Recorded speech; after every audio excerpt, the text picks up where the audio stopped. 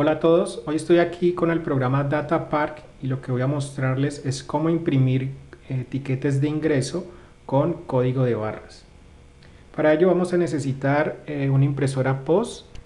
En este caso estoy utilizando una impresora térmica, eh, la más económica del mercado. Hablamos de unos 100 dólares aproximadamente.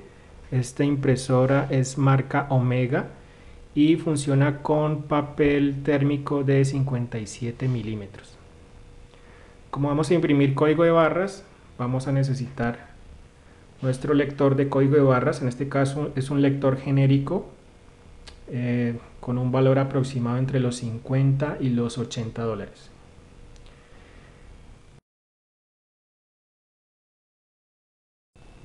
Bien, ahora vamos a registrar el ingreso de un visitante ingresamos el documento de identidad del visitante, le asignamos un código de barras y le damos ingreso en el sistema.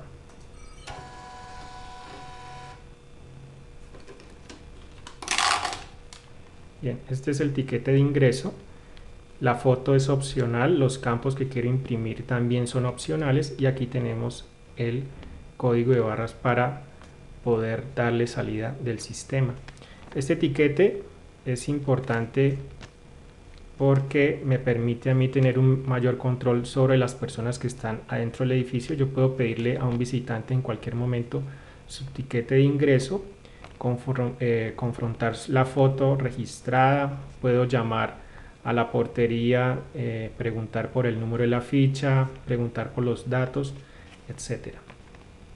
Para salir del sistema, lo que yo hago es simplemente cuando el visitante vaya a salir, eh, pasar el tiquete por el lector de código de barras y darle salida del sistema. En este caso, lo que estoy haciendo es imprimiendo una factura. Eh, aquí estoy imprimiendo una copia también. En el caso de los visitantes, pues no es necesario, pero como Datapark puede funcionar tanto para parqueaderos comerciales como control de visitantes, pues puede ser de utilidad poder tener la factura impresa por el servicio prestado. Vamos a mirar ahora que también puedo imprimir estas fichas de ingreso con eh, una fecha de vencimiento o válido por un número determinado de entradas.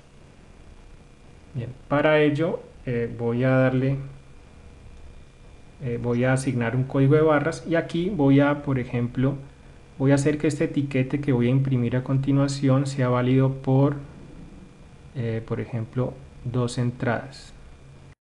Coloco aquí dos entradas digito el documento de identificación del, del visitante y voy a imprimir el tiquete.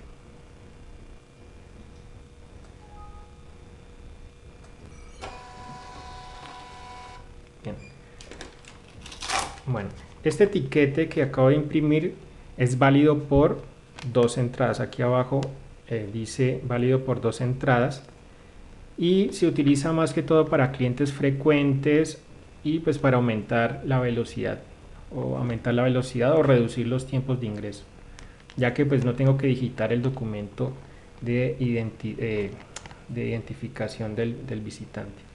Entonces, ¿qué va a suceder? Para salir del sistema, vuelvo a hacer lo mismo.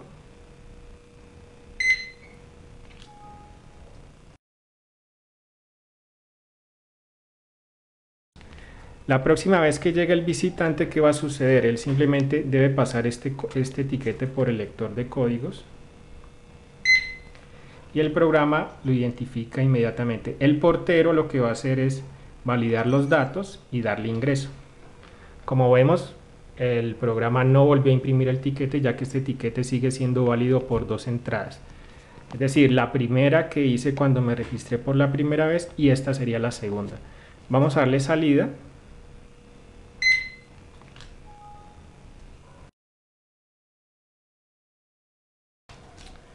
Y bueno, vamos a probar entonces, según esto, ya no debe ser válido este etiquete.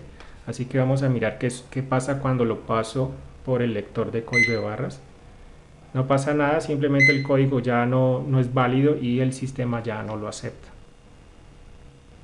Como les decía anteriormente, es posible eh, hacer eh, imprimir tiquetes con eh, un límite de entradas, ustedes definen para cuántas entradas sirven los tiquetes o con una fecha de, de vencimiento, es decir, válido por 30 días, 60 días, etc. Bueno, eso es todo. Espero les haya gustado el video. Nos vemos en una próxima oportunidad. Chao.